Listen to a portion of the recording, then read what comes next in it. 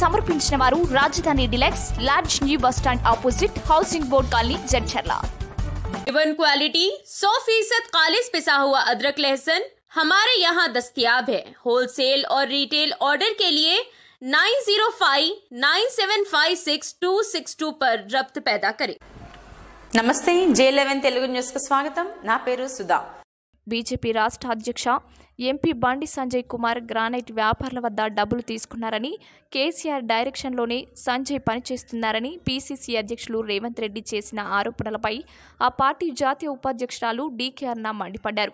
ఈరోజు గద్వాల్లోని తన నివాసంలో డీకే అర్ణ మీడియాతో మాట్లాడుతూ రేవంత్ టీఆర్ఎస్ నేతలపై తీవ్రంగా స్పందించారు. అందులోని ముఖ్యాంశాలు. బీజేపీ రాష్ట్ర అధ్యక్షులు ఎంపీ బండి సంజయ్ చేపడుతున్న రెండో విడత ప్రజా సంగ్రామ యాత్రకు పెద్ద ఎత్తున ప్రజలు హాజరవుతున్నారు. యాత్రకు వస్తున్న విశేష స్పందన చూసి ఓర్వలేని టీఆర్ఎస్ నేతలు పిచ్చి ప్రేలాపనలు పేలుతున్నారు.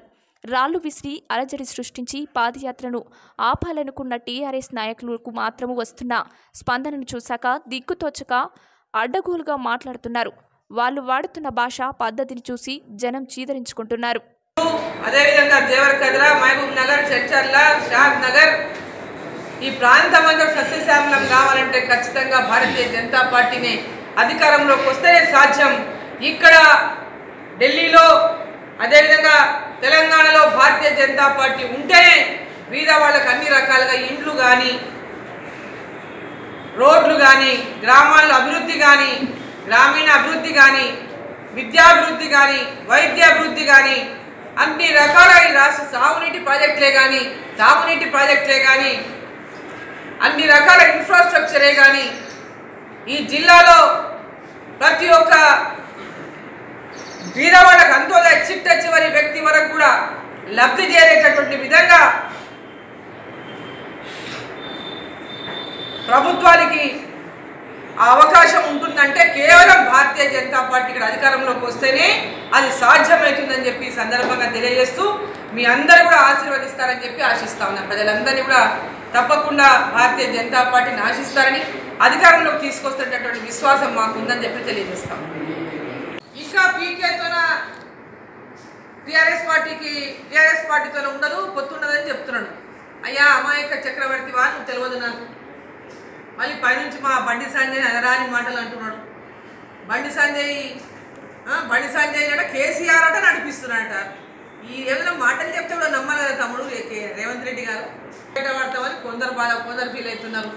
కొందరు ఏమైనా మేము ఇంతగానో పోరాటం చేస్తేవి వెనకటి నుంచి ఎవరైతే అండర్స్టాండింగ్లో ఉన్నారో ఎవరైతే లోపాయికారి ఒప్పందాలు నడుపుతున్నారో వాళ్ళేమో కేసీఆర్తో ఉంటే పర్వాలేదు మనకేం ఇబ్బంది లేదనుకుంటున్నారు ఎవరైతే ఖచ్చితంగా ఈ యొక్క అరాచకాన్ని ఈ నియంత పాలనను ఖచ్చితంగా తెలంగాణలో అడ్డుకట్ట వేయాలనేటటువంటి ఆలోచన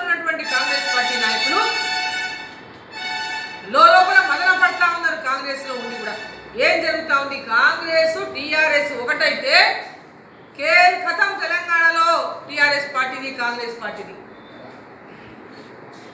బండి సంజయ్ గారి మీద మరి రేవంత్ రెడ్డి గారు ఆ విధంగా మాట్లాడడం నిజంగా నేను చింతిస్తూ ఉన్నా. అదేమంటారు ఇప్పుడు సామెత చెప్పినట్టు ఉంటుంది. ఇప్పుడు రేవంత్ ఎన్ని రేవంత్ మీద ఎన్నెన్ని ఆరోపణలు ఉన్నాయి? పెద్ద ఎత్తున మా వాళ్ళ పార్టీలో వాళ్ళే అంటారు బ్లాక్ మెయిలర్ అంటారు వాళ్ళ పా- వాళ్ళ పార్టీ వాళ్ళు అంటారు ల్యాండ్ మా సంజయ్ గారి మీద చేసినటువంటి ఆరోపణలు మీరు ప్రూవ్ చేయడానికి సిద్ధంగా ఉంటే రండి ఎక్కడికి ఏ ఏ గుడి దగ్గరకు వస్తారు? నోగులాం అమ్మవారి దగ్గర నుంచే మన యాత్ర మా యొక్క యాత్ర ప్రారంభమైంది. రెండవ దశ యాత్ర భారతీయ జనతా పార్టీ యాత్ర. మరి మీరు కూడా అక్కడికి వస్తారా? వార కుటుంబాన్ని పిలుద్దాం మీ కుటుంబాన్ని పిలుద్దాం. మీరు ఇచ్చిన మీరు చెప్పినటువంటి ఆరోపణల్లో నిజం ఉంటే మీరు దాన్ని నిరూపిస్తే మీరు అక్కడ ప్రమాణం అనేది చేయండి. మేము ప్రమాణం చేపిస్తాం బండి సంజయ్ గారితో. మీరు చేస్తున్నటువంటి ఆరోపణల్లో పచ్చి అబద్ధాలు. మీరు చేసినటువంటి ఆరోపణల్లో నిజం లేదు అనేటటువంటి విధంగా మేము అక్కడ ప్రమాణం చేయించగలుగుతాం మీరు చేయించగలుగుతారా మీరు చేస్తారా రాజకీయాల్లో దిగజారు రాజకీయాలు చేయొద్దు ఎప్పుడే కానీ రేవంత్ రెడ్డి గారితో నేను మనవి చేస్తాను రాజకీయంగా కేసీఆర్ చూసి మీరు నేర్చుకోవద్దండి రాజకీయంగా కేసీఆర్ లాగా సంస్కారాలు సంస్కృతంలో ఒక బల- బలమైనటువంటి పార్టీగా ప్రపంచ దేశంలోనే బలమైనటువంటి శక్తిగా ఈరోజు భారతీయ జనతా పార్టీ ఉంది. ప్రజలందరూ కూడా భారతీయ జనతా పార్టీని మళ్ళీ అధికారంలోకి రావాలని కోరుకుంటున్నాం ప్లస్ కాంగ్రెస్ పార్టీ పరిస్థితి ఏంటో చూసింది స్వయంగా. ఈ రాష్ట్రంలో మీరు పిసిసి ప్రెసిడెంట్ అయిన తర్వాతనే హుజురాబాద్లో మీ పార్టీ పరిస్థితి ఏంటి? పార్టీ పరిస్థితి కళ్ళతో చూసి స్వయంగా మీరు అధ్యక్షులుగా ఉండి ఈరోజు భారతీయ వాటిని ఎద్దేవా చేయడం చూస్తుంటే మరి నవ్వాలనా ఏడవాలనా మాకు అర్థమవుతుంది మరిన్ని వార్తల కోసం మా ఛానల్ సబ్స్క్రైబ్ చేసుకోండి.